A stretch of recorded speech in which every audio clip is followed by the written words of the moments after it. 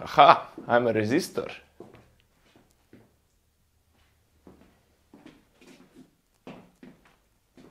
Why can I only move in only one direction? I feel like I'm currently flowing through a diode. What is a diode? I'm glad you asked. With your daily dose of cringe fulfilled, we can start acting like adults. But yes, today we will be talking about diodes. Up until now, all components with two contacts were polarity agnostics. Resistors, inductors or capacitors don't care which way the current flows. Diodes break this tradition. With diode, current can only flow in one direction. Let's build a simple circuit to show what I mean.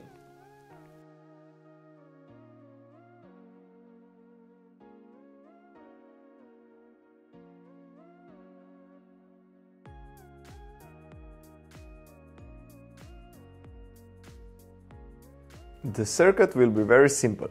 Just Red Pitaya's output generating a sine wave at plus minus 1 volt, a diode connected to the signal generator and two probes connected to either end of the diode. Let's not even pay attention to anything else for now.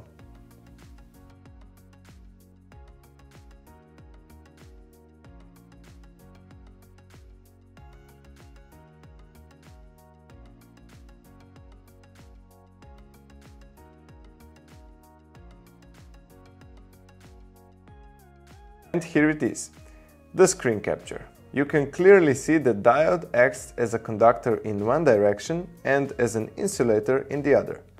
Let's ignore the elephant in the room, that is the fact that traces don't really match up in either direction and move on.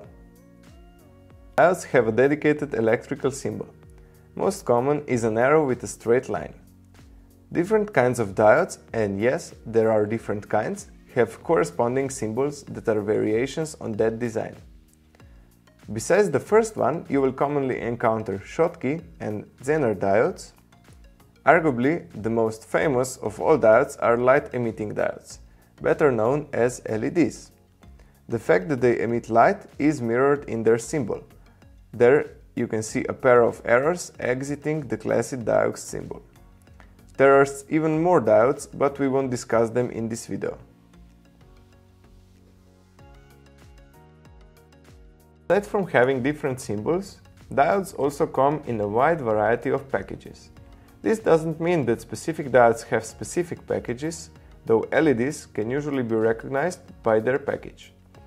Diodes usually have a straight line somewhere on the package. This straight line corresponds to the line seen in the electrical symbol. This node is known as the cathode or the negative end. The positive end is called anode. Quick recap. Diodes have two nodes and they conduct electricity only in one direction. That means only when they are correctly polarized. The correct polarization of the diode is in the direction of the arrow.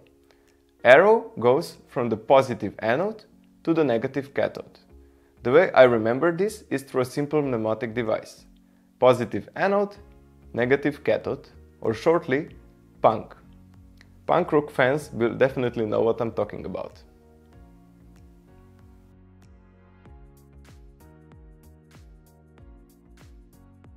Now back to the packages.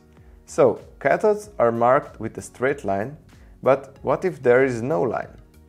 That is very common with LEDs. Those have two distinctive markings, the negative lead cathode is shorter and the plastic bulb has a flat side on the cathode.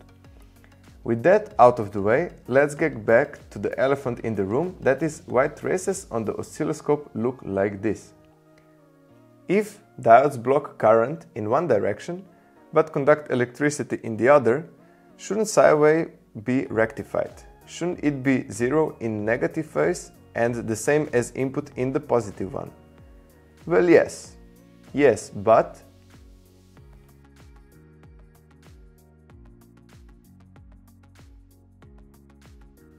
Diode's characteristics look more like this.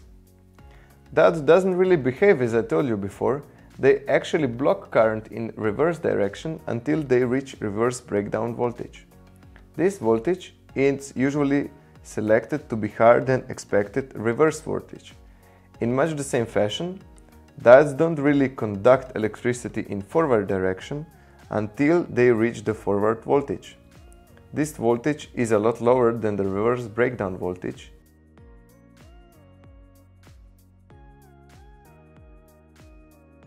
It is about 0.7 volts for classical diodes, 0.4 volts for Schottky diodes, and over 2 volts for LEDs. When solving circuits with diodes, we usually just assume that voltage drop across the diode is exactly the same as its forward voltage. We will now measure forward voltages of a few LEDs and measure how much current is flowing through them. But before that, I have some bad news. Or good ones, depends on how much you like op-amps. Let me just fetch one.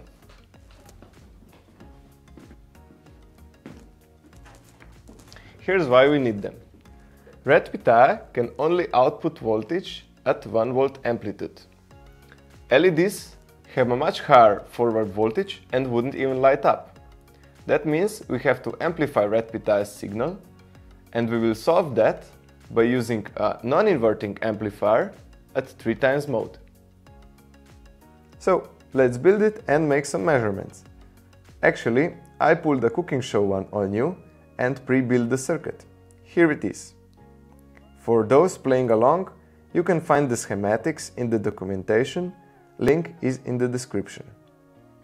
One thing I would like to point out is that op-amp is powered from 5V and minus 4V rails. This means that the output will be clipped in the negative direction. But since LEDs don't conduct in the negative direction, this won't bother us. Let's add a 100 ohm resistor to the circuit and an LED. Don't forget to connect LED's cathodes to the ground so that current can actually flow through diode. The 100 ohm resistor's function is twofold. It acts as a current limiting resistor so that we don't fry the LED, and it also acts as a shunt resistor. This means we can use it to measure current flowing through the LED. We just have to measure the voltage drop and divide it by the resistance. With that said, connect RedPie's input probes to the two ends of the shunt resistor and let's move over to the computer. As usual, inputs must be in 10 times mode.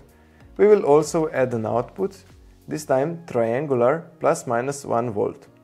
That will translate into plus minus 3 volts and let's see what happens. First thing that you should notice is clipping in the negative voltages, as we discussed before.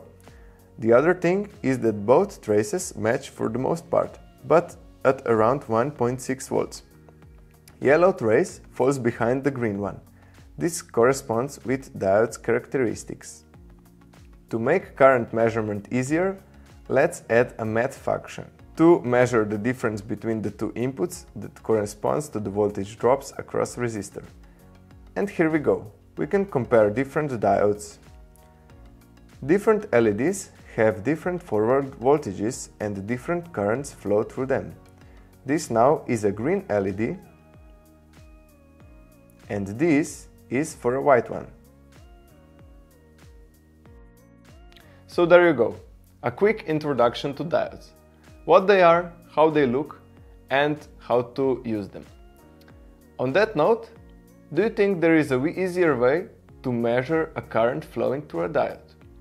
Is there a way how we could measure this using only one oscilloscope probe? But this we will leave for future videos. Until then, like, share and subscribe. Bye!